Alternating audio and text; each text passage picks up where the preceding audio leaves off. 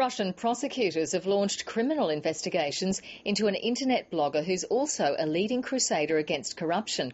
Authorities say Alexei Navalny is suspected of fraud, but his supporters believe it's all a plan to get him off the web. Moscow correspondent Norman Hermant reports. Mention political power in Russia, and this is what comes to mind. A ruling tandem who so dominate the broadcast media that even when they get together for a game of billiards and to watch a movie, it makes news. But for many in the younger generation, this is the face of political change.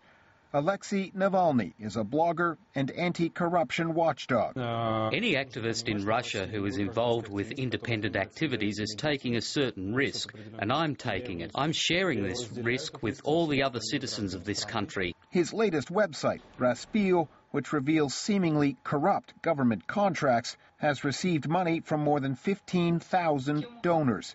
Those who have watched his popularity soar say that's unheard of for the internet in Russia and the government knows it. It's the people's support they are mostly scared of, the real support of the people who transferred their money, several million rubles. This all started several years ago when Navalny's anger over dubious spending on yachts and